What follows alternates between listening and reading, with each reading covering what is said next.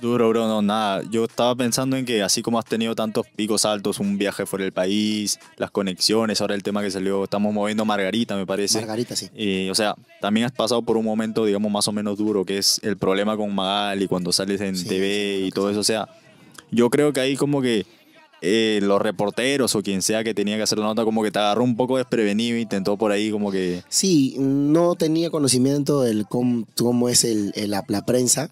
Tuve que experimentarlo solo. Uf, Y eso es que ya.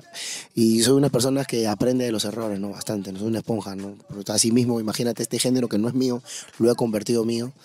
Entonces, este, ya aprendí la lección y ya sé manejarme, pues, ¿no? Con, con la prensa que te graban lo que ellos quieren escuchar, ¿no? Abren- arman su Claro. pauta y de las Cortan palabras ahí, cortan y ah, expertos en eso y te ponen lo que la gente quiere. quiere Tener escuchar. cuidado ahorita con lo que se dice. ¿eh? No nos funden, amigos. Ahí con- Sí, menos es más a veces a decir. Porque ahora está de moda en un podcast que la gente recorta y hace como unos clips de 30 segundos y le mete los efectos de suspenso y pucha, se, Eso, se claro, pierde cualquier sí, cosa, bro. Se pierde, se presta. A veces las palabras tú dices sí y ellos te pueden hacer una pregunta y, y es otra cosa. ¿no? No, no sabes cómo y terminas en no. No, no sabes, no sabes ni, ni lo dijiste, pero ahí te lo pusieron. Lo único que sí me dejaron cantarle un poquito de la... Bueno, el tema ya estaba hecho, ya, el tema de la soplona estaba hecho.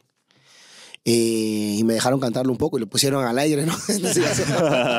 Lo pusieron al aire, ¿no? Pero. Pero o sea, hay algo que dicen que no hay publicidad mala. O sea, eso, Eso te sí. ayudó con, con sí los ayudó shows. bastante, ¿para qué lo voy a, lo voy a este, negar? Eh, no hay publicidad mala, no, no hay, no hay, no hay. Ayudó bastante eh, para que la gente también conozca mi trabajo musical que vengo haciendo, ¿no? Y también respete y apoye y priorice también lo que, lo que estamos ahorita promoviendo.